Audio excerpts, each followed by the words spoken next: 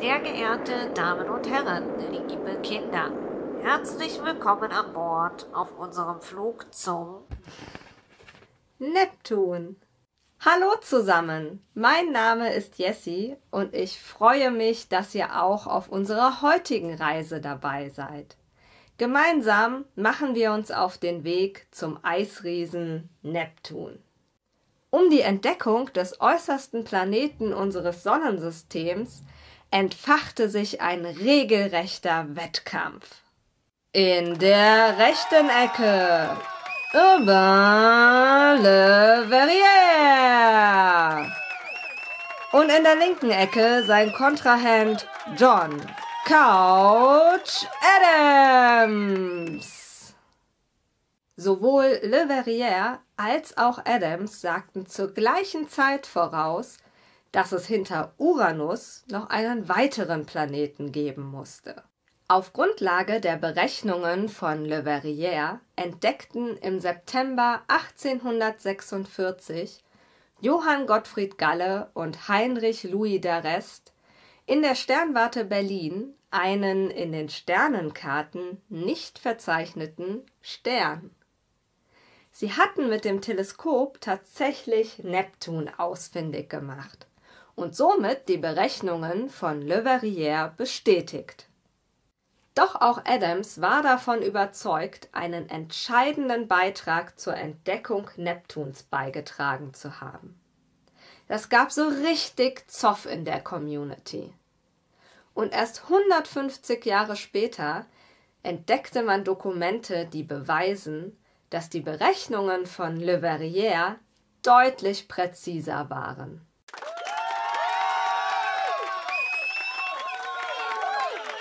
Und ihr habt richtig gehört. Neptun ist der erste Planet, der nicht zufällig entdeckt wurde, sondern dessen Existenz mit Hilfe von physikalischen und mathematischen Gesetzen vorausgesagt wurde. Doch wie sind Le Verrier und Adams überhaupt zu der Vermutung gekommen, dass es hinter Uranus noch einen achten Planeten geben muss? Sie hatten Unregelmäßigkeiten in der Bahnbewegung von Uranus festgestellt und schlossen daraus, dass ein weiterer Planet diese beeinflusst. Die sattblaue Färbung von Neptun hat seinen Namensgeber scheinbar an Wasser bzw. das Meer im Speziellen erinnert. Deshalb haben sie ihn auch nach dem römischen Gott des Meeres benannt. Poseidon! Nein, das ist der griechische Meeresgott. Auch Ozeanus, Vater aller Flüsse, stand wohl zur Auswahl. Doch entschieden hat man sich dann für Neptun. Neptun rotiert ziemlich schnell um seine eigene Achse. Ein Neptuntag dauert daher gerade mal 16 Stunden. Da er so unglaublich viele Kilometer von der Sonne entfernt ist, braucht er 165 Tage für eine Sonnenumrundung. Seit seiner Entdeckung im September 1846 ist also mehr oder weniger gerade mal ein Neptunjahr vergangen. Irre, oder? Im Gegensatz zu seinem Nachbarn Uranus hat Neptun keine aalglatte Oberfläche. Es sind durchaus Strukturen zu erkennen, nämlich weiße Wolken. Und da Neptun sich so schnell um seine eigene Achse dreht, können auf ihm Stürme mit Geschwindigkeiten von bis zu 2100 Kilometern die Stunde entstehen, die diese weißen Wolken in Bewegung setzen.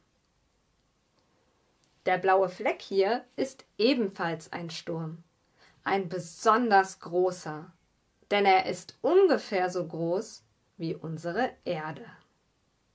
Bisher sind um Neptun herum 14 Monde entdeckt worden. Doch wer weiß, wie viele es tatsächlich sind. Fest steht allerdings, dass Triton Neptuns größter Mond ist. Und dieser Triton ist ganz schön interessant. Das fängt schon damit an, dass er sich retrograd, also rückwärts, um Neptun bewegt. Triton ignoriert einfach die übliche Laufrichtung in unserem Sonnensystem. Ihr kennt das eventuell vom Schlittschuhlaufen. Da gibt es auch immer irgendeinen Menschen, der konsequent in die falsche Richtung läuft.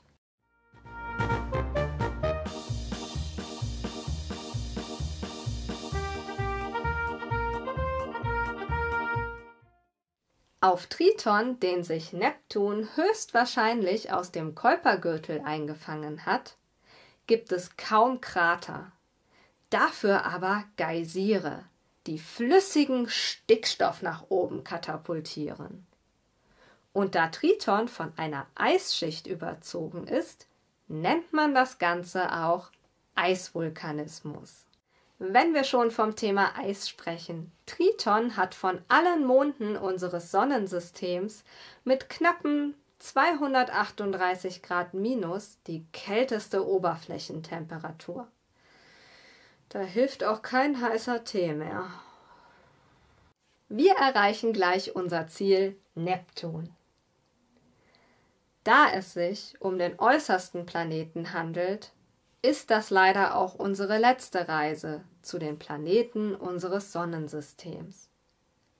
Zum Glück gibt es aber ja noch so viel mehr zu entdecken und wir sehen uns ganz bestimmt wieder.